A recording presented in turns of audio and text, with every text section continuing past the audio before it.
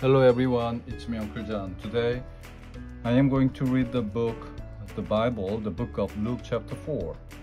Jesus in the desert. August 2nd. Before Jesus began God's work, he went into the desert. He spent 40 days and 40 nights praying to God. He ate nothing and was hungry. The devil tried to tempt Jesus to turn rocks into bread.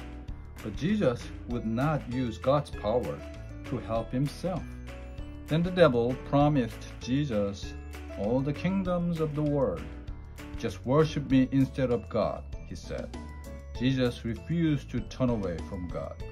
Finally, the devil told Jesus to jump from the top of the temple. Your God will save you, he said.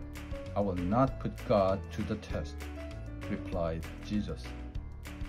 At last, the devil left Jesus alone. The end.